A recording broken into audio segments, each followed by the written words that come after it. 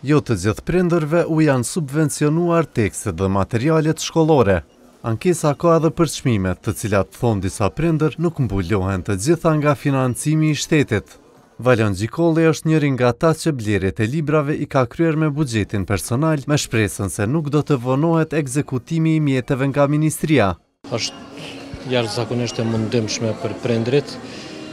Forma më e mirë e mundshme ajo ka qenë deri para dy vitesh që tekstet të shpërndahen nëpër shkolla.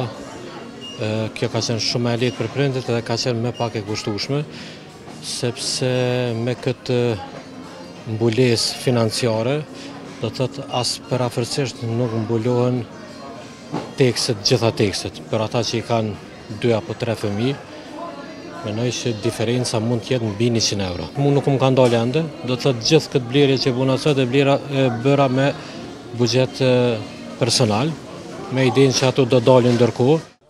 Përderisa shitësit i kanë thënë Kosovapresit se nuk ka ankesa lidhur me çmimet e librave, ka prindër të cilët thonë se librat janë më shtrenjtë këtë vit.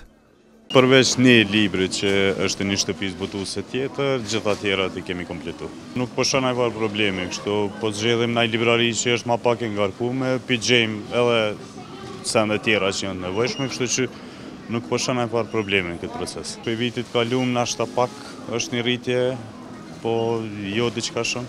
E drejtori i institutit EdGuard thotë se institucionet si të nivelit qendror edhe ato të nivelit lokal duhet të përkujdesen që procesi me tekstet shkollore të menaxhohet mirë ashtu që të gjithë nxënësit e Kosovës ta nisin vitin e ri shkollor me libra nëpër banka.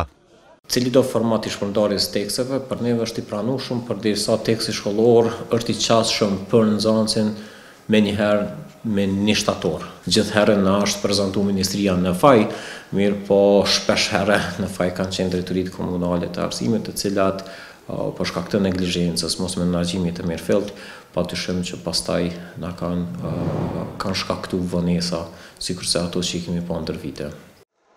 Më njëzet gusht Ministria e Arsimit ka deklaruar se i ka subvencionuar shumicën e prindërve që kanë aplikuar për subvencionim apo tetëdhjetë e një mijë e treqind e pesëdhjetë e pesë nga gjithsej njëqind e pesëdhjetë e një mijë e tetëdhjetë prindër aplikues.